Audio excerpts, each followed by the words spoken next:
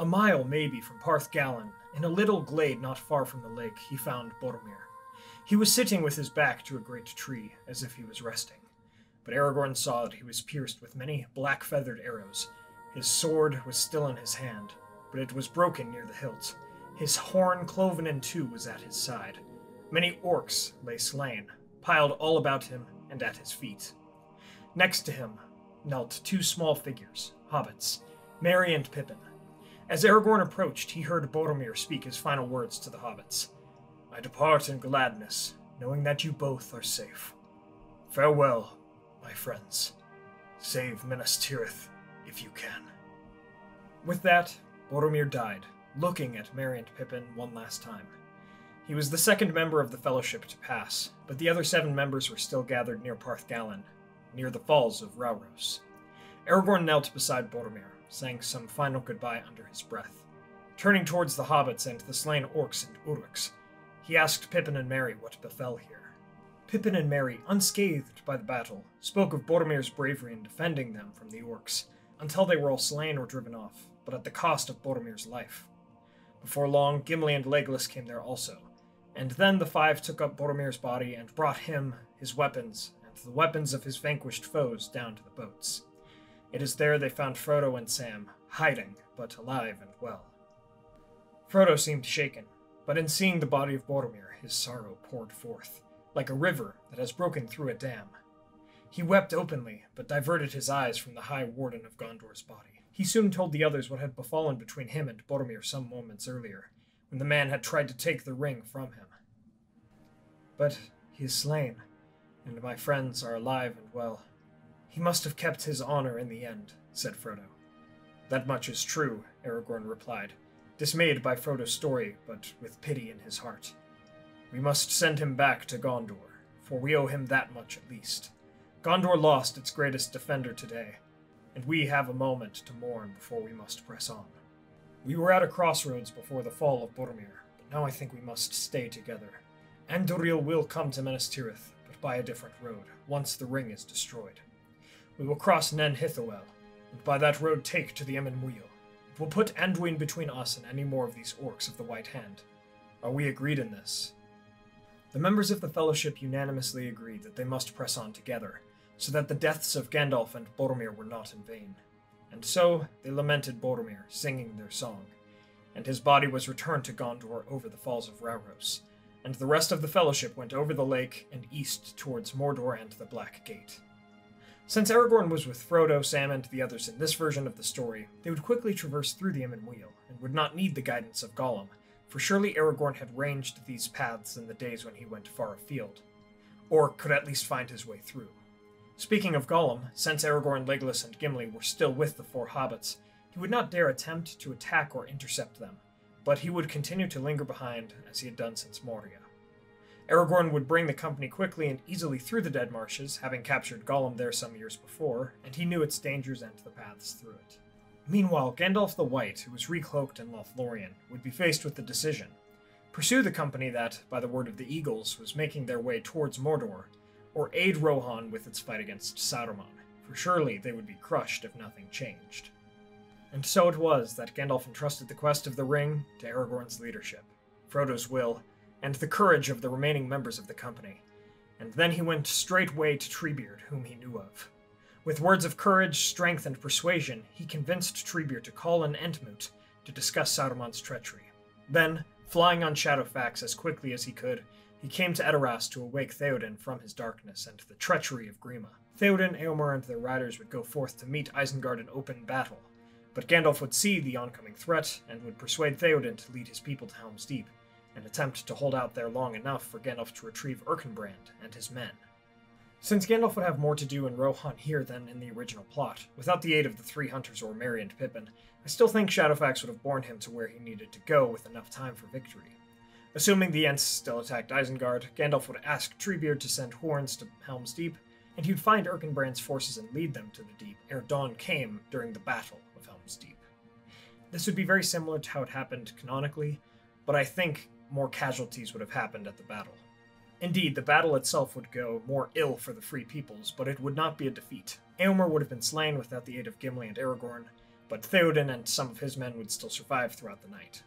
Eowyn would thus be the new heir of Theoden, and the Rohirrim would grieve much for their lost commander. Still, not all was lost, and through the efforts of Gandalf, Sauron would still be defeated, but just barely. Now, coming back to the remaining members of the Fellowship, they would come to the outskirts of Dagorlad, within view of the Black Gate. But Aragorn would see its defenses, and know that it would be futile to attempt to enter there. We must seek for another path, as attempting the Black Gate would be folly. We shall be slain ere we reach its opening, and the ring will fall into his hands once more.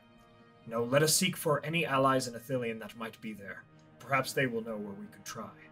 And so, through Aragorn's wisdom, the company would seek southwards, but the question of where Gandalf meant to bring the company originally was on the mind of every member.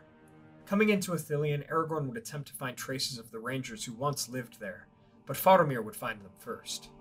Aragorn, Legolas, and Gimli would aid the rangers during their attack against the Haradrim in Ithilien, and Faramir would recognize the valor and Numenorean nature of Aragorn. Faramir would then lead the remaining members of the Fellowship back to Henneth Annûn and would be quite fascinated with Aragorn. Lord, you bear the virtue of Numenor within you, it is plain to see. Who are you, and what is your purpose here? Aragorn would in turn recognize the bearing of the Dunedain within Faramir, answering, I am Aragorn, son of Arathorn of the North. My allies and I seek safe passage across your land. We cannot speak openly of our mission, for it is one of secrecy, but if you know of a way into Mordor that is beneath notice, we would be in your debt. Faramir would consider this, and his prophetic dream he had had the year before would unravel before him, and he would then ask of Boromir to speak of their brotherhood. Pippin and Merry would tell him how he fell to save them, and just as incidentally as it happens in the book, Sam would let slip that it was the one ring they carried. Aragorn would look at Faramir, wondering what he might do, hoping in his heart that the brother of Boromir was just as loyal but not as rash as Boromir was himself. Faramir, of course, would not attempt to take the ring and would act with wisdom, agreeing to speak to them of the pass of Cirith Ungol and taking them towards the crossroads the next day. However, that night, Gollum would be fishing in the Forbidden Pool. Aragorn, having encountered and captured this creature before, would not have him slain, but would want the Rangers to capture him and question him as their prisoner. Perhaps he would even want to speak to him himself. Thus, Gollum would be caught by Faramir's men and kept by them, even as they returned to Osgiliath and Minas Tirith and the rest of the Fellowship set out towards Minas Morgul and Cirith Ungol. Now, looking back at Gandalf in the West, this is where things begin to get dark for the Free Peoples. In the original timeline, Aragorn looked into the Palantir at Helm's Deep and provoked Sauron's attack on Minas Tirith early. But now, without Aragorn's moment with the Palantir, Gandalf, Rohan, and Gondor would have more time to prepare for the attack and onslaught against Minas Tirith. However, there would be no Oathbreakers from the Paths of the Dead led by Aragorn to save Pelargir, and that would also be taken by the Corsairs.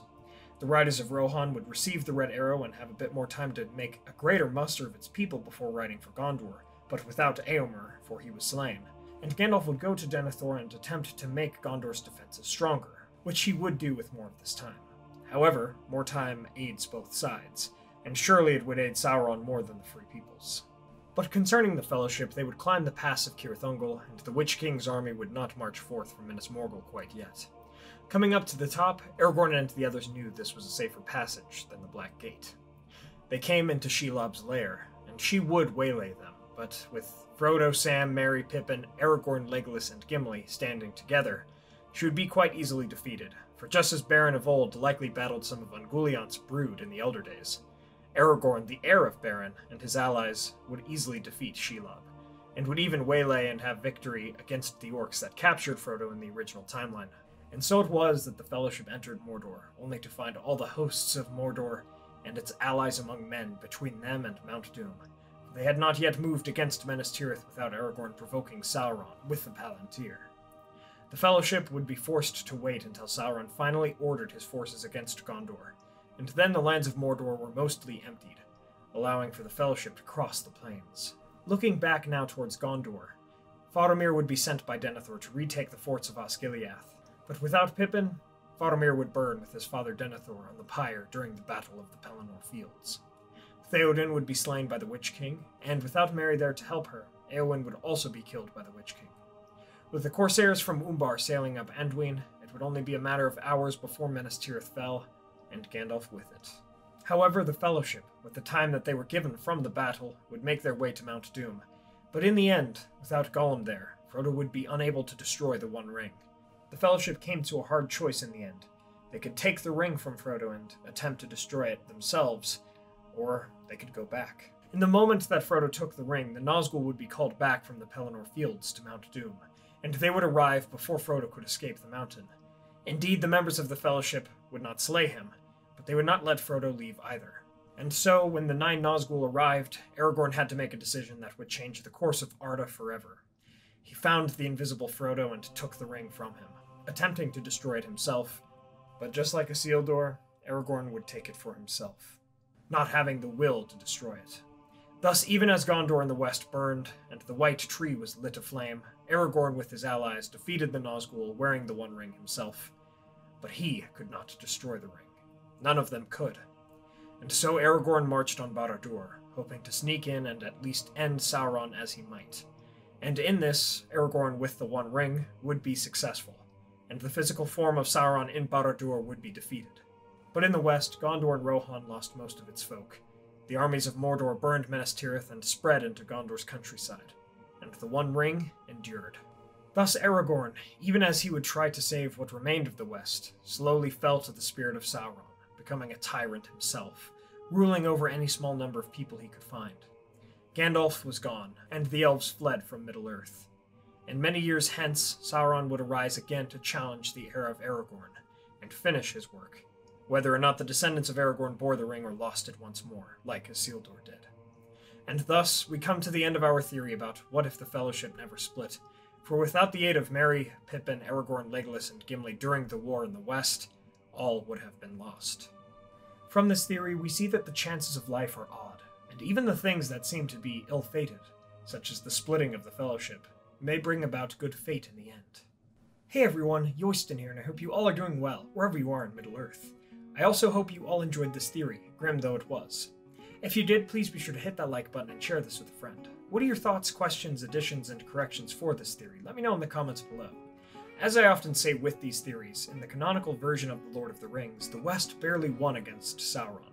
So if most anything was changed in the process, it likely would have resulted in a grim defeat for the West. But there are other things that could have changed to aid the West against Sauron as well. This theory in particular was interesting, as getting to Mount Doom would have been easier, but the War of the Ring would have been made far worse for the Free Peoples had this happened.